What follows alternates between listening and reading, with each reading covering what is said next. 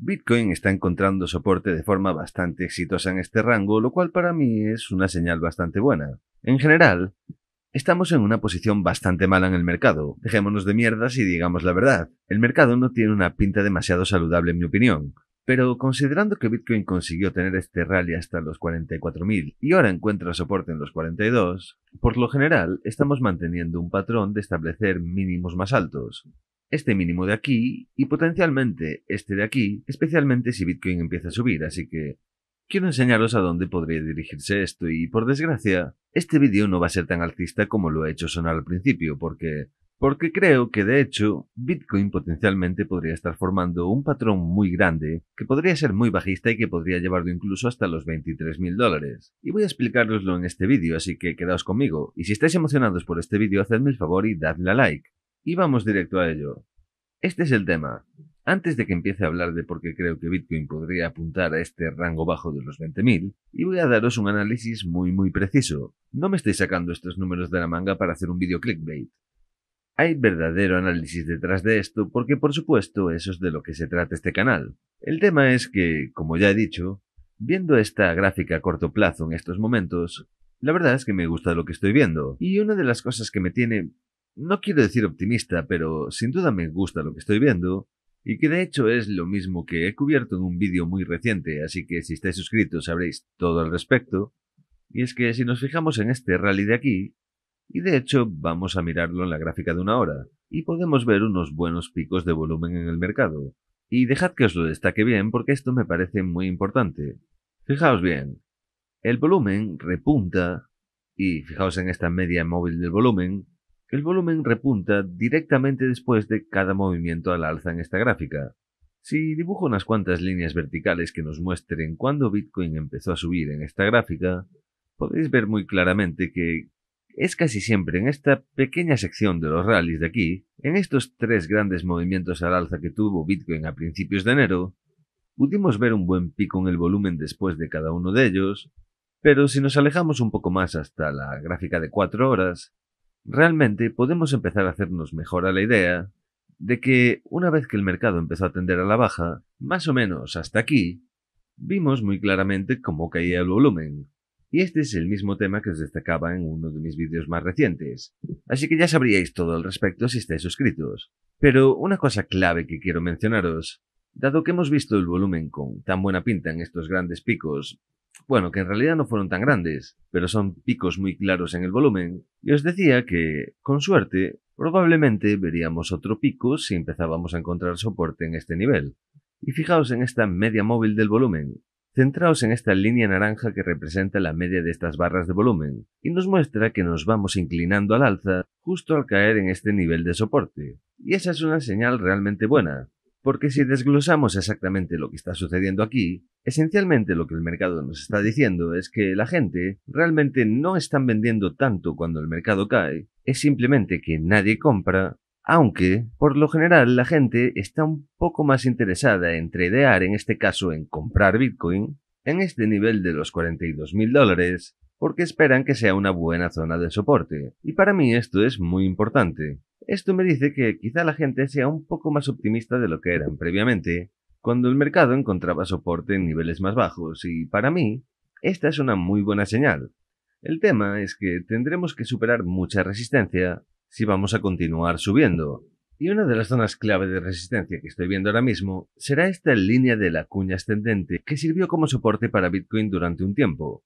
Bitcoin la estaba utilizando muy bien como soporte, pero por desgracia la hemos convertido en resistencia cuando caímos por debajo.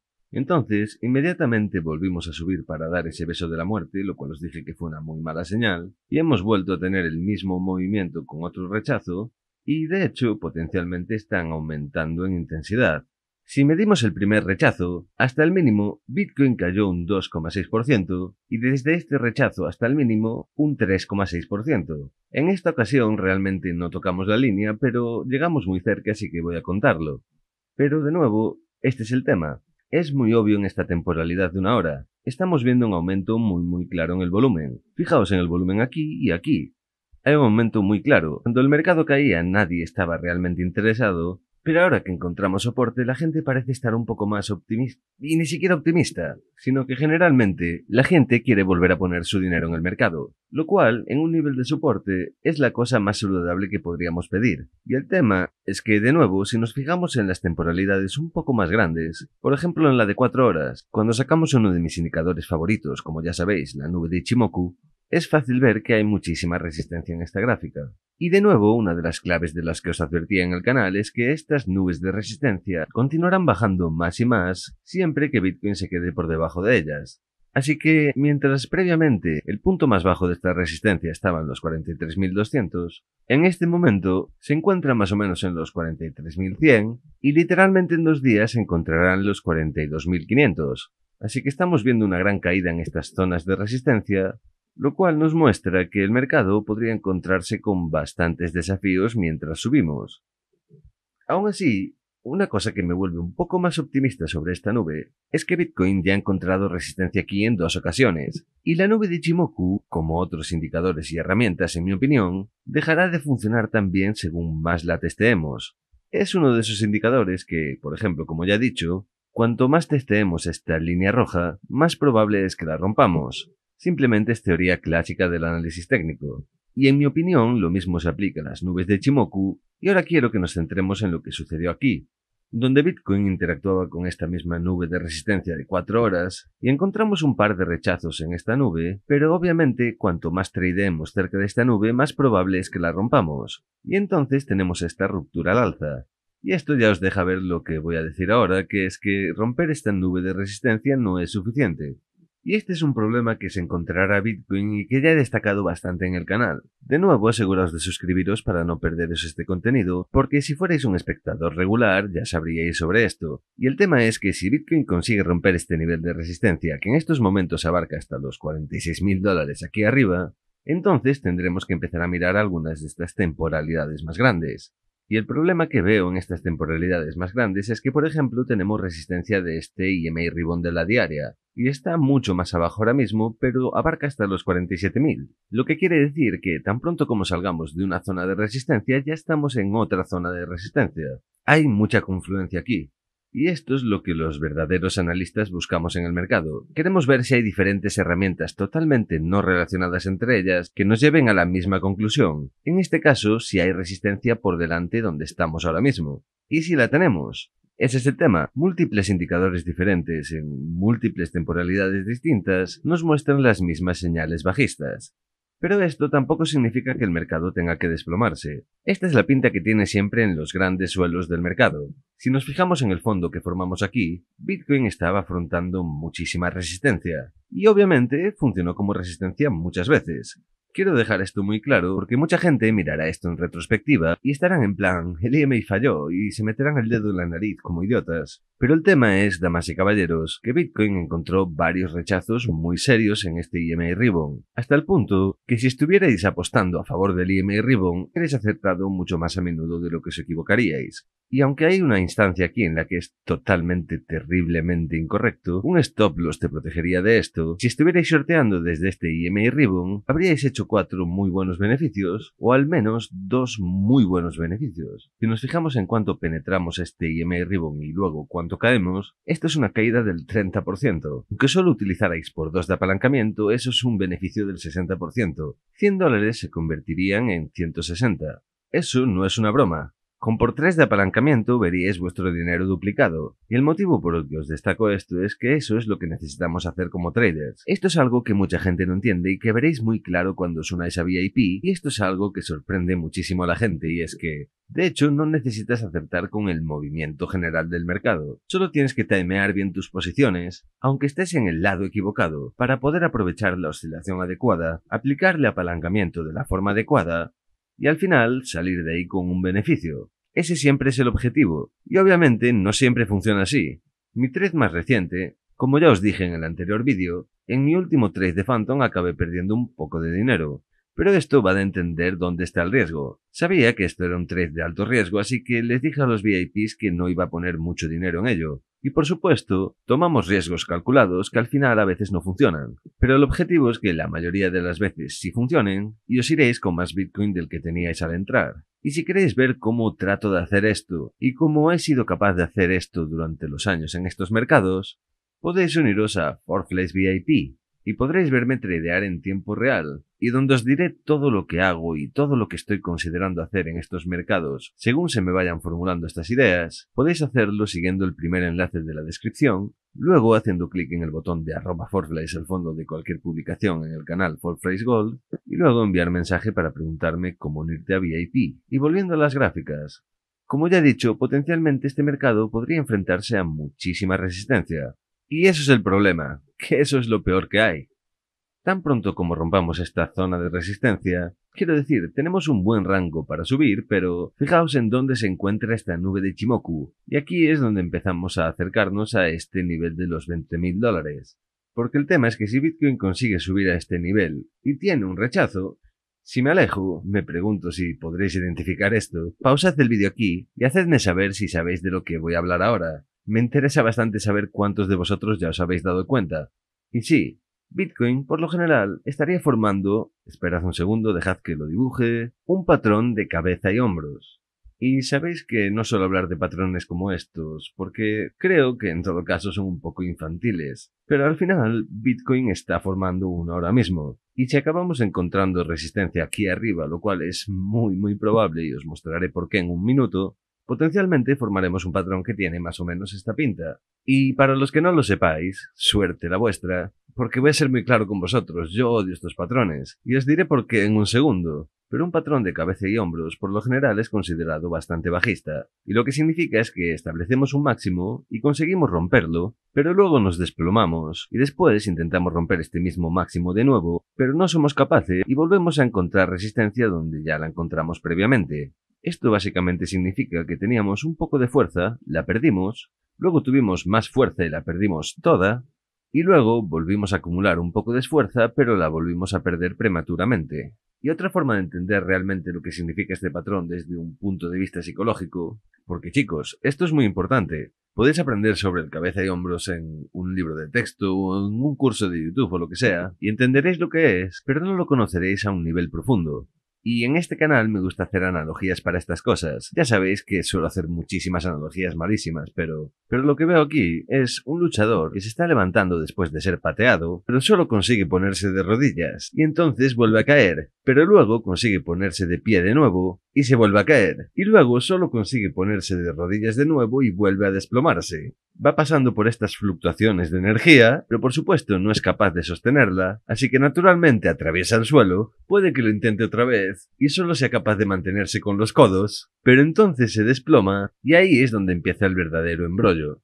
Y el tema con este patrón es que podemos ver su objetivo si dibujamos una línea desde lo que llamamos la línea del cuello aquí abajo hasta el tope de la cabeza, que más o menos tiene esta pinta, y entonces podemos utilizar esto para extrapolar un objetivo a la baja. Y claramente he dibujado esto de forma incorrecta porque mi objetivo en esta gráfica son 15.000 dólares. Así que un segundo y quedaos conmigo mientras miro cómo está bien. Sí, fallo mío, tengo que fijarme en el movimiento porcentual en el mercado no de dólares. Así que en este caso lo que haré es medir la caída desde aquí. Desde el máximo hasta este mínimo es una caída del menos 40%. Y para mostrarnos a dónde nos llevaría esto desde la línea del cuello, mediré una caída del 40% y esto nos pone más o menos en unos 24.000 dólares. Así que esto es más lo que me decía mi análisis antes de empezar a grabar lo que nos muestra que básicamente el rango de esta cabeza era un movimiento del 40% y desde aquí otro movimiento del 40% nos llevaría hasta los 24.000 dólares, lo cual, por cierto, si estabais viendo el canal aquí, cuando todo el mundo pensaba que caeríamos hasta los 20, os decía que 24 era una potencial zona de rebote. No quiere decir que vayamos a ir hasta aquí, pero si lo hiciéramos, podríamos encontrar un poco de soporte en los 24. Y de hecho los 23 es el fondo de esa zona de rebote, así que supongo que ambos niveles importan. Pero quiero dejar esto a un lado por un momento y hablar de este hombro derecho. Lo primero que quiero decir es que todavía ni siquiera hemos formado el hombro derecho. Es muy pronto para estar hablando de un patrón de cabeza y hombros. Estos patrones ni siquiera son reales hasta que rompemos por debajo de la línea del cuello y la retesteamos. Estas son las condiciones que necesitamos para poder decir todo esto era un hombro, cabeza y hombro. Y aún ni siquiera hemos formado el hombro derecho, pero este es el tema. El hombro derecho, tened este nivel en mente, 51.500. Ahí es básicamente hasta donde sube este hombro derecho. Y esta es una zona que creo que será un verdadero desafío para Bitcoin. Y mi motivo para decir esto es que en esta tendencia, Bitcoin más o menos estableció unos cuantos máximos. Generalmente en una tendencia bajista establecemos máximos bastante claros. Este es un máximo muy claro, y estos de aquí son máximos bastante claros. Y aquí tenemos otro. Y sabemos que estamos fuera de una tendencia bajista cuando rompemos esos máximos. Así que en esta ocasión el máximo estaba fijado en los 36.000 dólares. Conseguimos romper este máximo con esta vela y ahí es cuando fue muy claro que habíamos salido ya de esa tendencia bajista. Y de nuevo, en esta gráfica, establecemos un máximo aquí, y luego otro máximo aquí, y luego este de aquí. Así que tan pronto como el mercado consigue subir por encima de este máximo más reciente, sabíamos que probablemente había una buena probabilidad de que el mercado se volviera alcista de nuevo, pero tan pronto como rompimos este máximo, porque este era el máximo más claro que teníamos en esta mini tendencia bajista, más o menos en los 48-49 mil dólares, aquí es de nuevo cuando se vuelve bastante obvio que el mercado probablemente está en una posición bastante artista. Ahora mismo, los dos máximos que veo para esta tendencia bajista muy claramente son este de aquí en los 42.000, pero más importante, el máximo más perfilado en toda esta tendencia bajista el mismo que predije en este canal cuando Bitcoin tendía la baja y nadie consideraba la idea de que fuera a subir, pero Forflace estaba aquí para deciros que lo necesitábamos y que estábamos a la espera de ello. Y nadie me creía al respecto, lo cual es exactamente por lo que lo gritaba tan alto. De nuevo, machacad ese botón de suscribirse si aún no lo habéis hecho, porque podríais perderos muchísimo de este valioso contenido que realmente es muy independiente del resto del sentimiento del mercado porque siendo sinceros, yo no me involucro en esas cosas. Tengo mi propio análisis y tengo lo que yo consideraría un analista de clase mundial en mi equipo, entrenado por mí, y nosotros hacemos lo nuestro sin que nos importe lo que hagan el resto. Y por eso nos va también de una forma consistente. Y es por eso que tanta gente se ha convertido en traders asesinos y peligrosos dentro de estos mercados después de entrar en Forflace VIP, siguiendo estos tres rápidos clics, y el tema es que esto es un máximo muy importante en el mercado y se alinea con esta nube de Chimoku de la temporalidad diaria. De nuevo, cuando hablo de confluencia, es esto. Esto es confluencia. Si Bitcoin consigue tener un rally hasta este nivel, fijaos exactamente dónde encontrará resistencia. Da miedo. Honestamente, da miedo. Y el tema es que, dado que esto fue una oscilación alcista previa, esto será un nivel relativamente difícil de romper. Y esta zona de los 51.500 abarca, en mi opinión, hasta los 53.000, porque este es el nivel en el que Bitcoin previamente tuvo un enorme techo. Esto también es básicamente donde Bitcoin encontró un rebote bastante significativo y también otro rebote aquí. Y además, históricamente ha sido un nivel bastante importante. Nos consolidamos aquí cuando establecimos un máximo histórico y luego conseguimos seguir subiendo. Y fijaos en dónde encontramos resistencia después de caer por debajo de ese nivel. Y también mirad dónde encontramos una zona muy grande de soporte en esta gráfica, que de hecho no solo desencadenó un rally del 30 o el 29% en menos de un mes, fueron 20 días, 3 semanas en las que Bitcoin subió un 29% desde este nivel de soporte, así que no solo tuvimos un rally grande, sino que también fue rápido y fue un nuevo máximo histórico y vino desde este nivel de los 53.000 y luego, por supuesto, más interacción con esta zona. Y también un poco de resistencia aquí. Caemos por debajo de este nivel y fijaos en dónde retesteamos antes de volver a caer. Y el motivo por el que os destaco todo esto es que ha habido una acción del precio muy muy importante históricamente en este nivel y Bitcoin realmente estará entrando en este rango de resistencia, en mi opinión, desde una posición de debilidad. Para caer un 40%, el mercado tiene que estar bastante dañado y sí, yo creo totalmente que esta es una buena zona de soporte, y es por eso que, al menos hasta que rompamos ese mínimo, y esto es algo muy raro que decir en voz alta porque es esencialmente muy obvio, pero hasta que rompamos ese mínimo, estoy bastante convencido de que no lo romperemos. Porque realmente mm, no sé cómo decir esto sobre la marcha, pero llevo 19 minutos en un vídeo improvisado, así que, joder, puedo cometer un error con mi habla.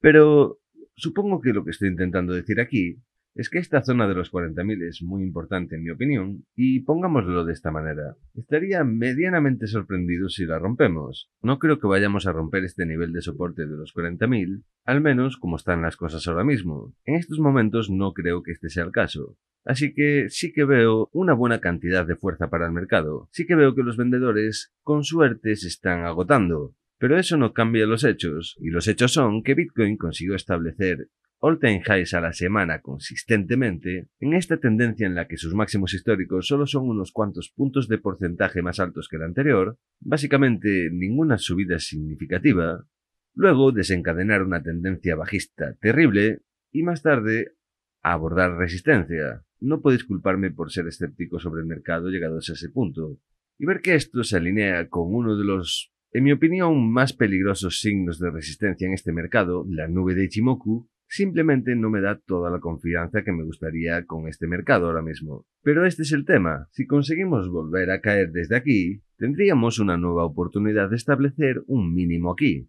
Y de hecho, esto a mí me gustaría bastante, porque esto significaría que estamos teniendo unos testeos con bastante espacio entre ellos de este nivel de los 40.000, si luego somos capaces de rebotar desde aquí.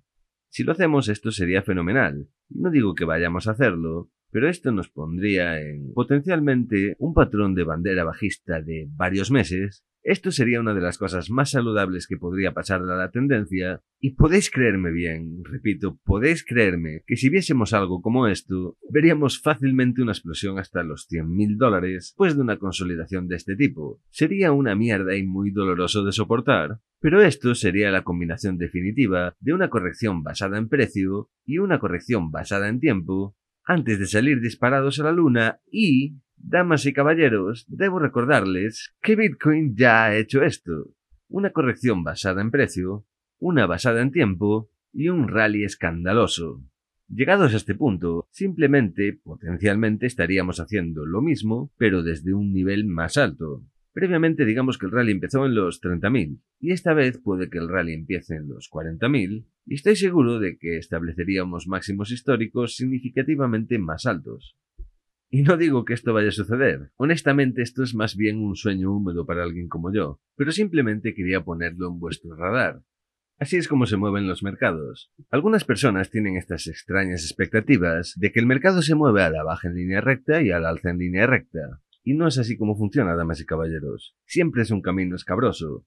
Este no fue un movimiento de línea recta en el mercado. Subimos y bajamos y subimos. Y entonces tenemos estas reversiones estúpidamente dolorosas en el mercado. Así es como operan estos mercados. Y es por eso que estoy intentando espolvorear un poco de realismo, pero bueno, volvamos a este patrón de cabeza y hombros antes de que me desvíe del tema de nuevo. Y el tema es que si conseguimos romper por debajo de esta zona y volver a retestearla como resistencia, esta sería una de las cosas más terribles que podía suceder en el mercado. Y también sería sin duda una de las más sencillas y obvias oportunidades de venta de mi vida si Bitcoin consigue caer por debajo de los 40.000 dólares durante cualquier periodo de tiempo importante, lo que quiere decir al menos unos cuantos días, y luego volviendo a subir para retestear esta zona como resistencia. Esta sería una posición corta muy obvia.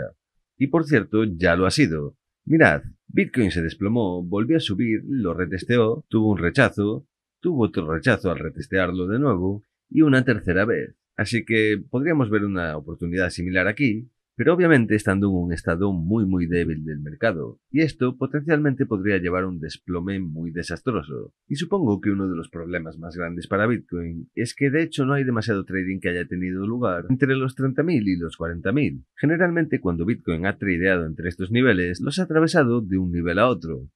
Tenemos muchas ocasiones aquí en las que nos hemos movido de arriba abajo totalmente, y es básicamente lo que hace Bitcoin en este rango. Obviamente, puede que haya un poco de relleno de por medio, pero por lo general es bastante claro que si Bitcoin consigue caer por debajo de esta zona, bajaremos hasta los 30.000. Y la zona por debajo de los 30.000 es mucho peor aún que esta brecha de aquí, porque literalmente no ha habido nada de trading entre el rango de los 30.000 dólares aquí arriba y los 24 o 20.000 dólares. Simplemente no hay nada de trading. Y estos son simples hechos. No estoy intentando asustaros, chicos. Si os estáis asustando, salid del puto mercado.